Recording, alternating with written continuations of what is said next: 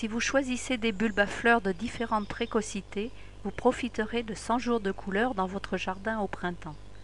Les périodes de floraison dépendent bien entendu aussi de votre climat. Lisez les instructions sur l'emballage pour la hauteur et la profondeur de plantation. Choisissez tout d'abord l'emplacement où vous souhaitez planter les bulbes dans votre jardin. Le plus simple est de déposer les sachets de bulbes à l'endroit où vous désirez les planter. Vous aurez ainsi un bon aperçu de la répartition de la floraison des bulbes au printemps.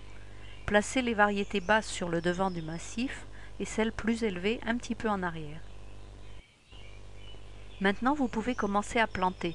Vous pouvez creuser un trou individuel pour chaque bulbe, mais si nous pouvons vous donner un petit conseil, vous les planterez plus vite en creusant un trou plus grand et en les plaçant en groupe.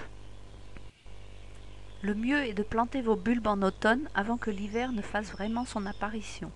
Ils auront ainsi le temps de développer leurs racines et d'être fin prêts pour l'hiver.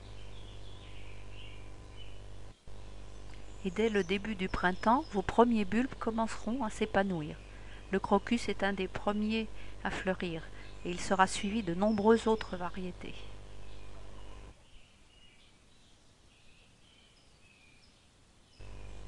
Les bulbes sont bien connus pour leur magnifique couleur chatoyante et leur forme de fleurs unique, mais on les aime également beaucoup pour leur parfum. Les jacinthes sont un des bulbes les plus parfumés.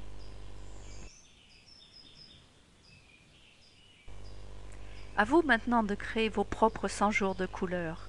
C'est une merveilleuse façon de planifier et de planter des bulbes pour le printemps suivant.